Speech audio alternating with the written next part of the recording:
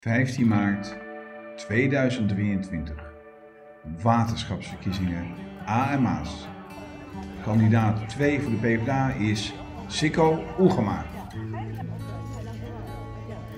ga met name aandacht besteden aan twee belangrijke dingen. Ik ga de natuur stellen boven de landbouw.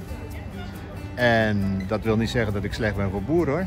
Maar natuur moet altijd winnen, vind ik. Twee is dat ik het heel belangrijk vind dat hemelwater afgekoppeld wordt in de gemeentes. Daar gaan de gemeentes over, niet het waterschap. Maar ik wil graag in contact met alle gemeentes dat daar haast mee gemaakt wordt.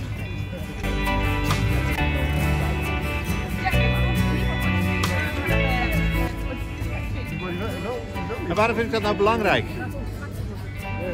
Het is bijna niet voor te stellen, maar regenwater wordt gezuiverd in rioolwaterzuiveringsinstallaties. Is helemaal niet nodig, kan gewoon naar de grond.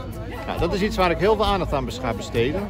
PvdA, Waterschap A en Maas, nummer 2, Sikko Oegma.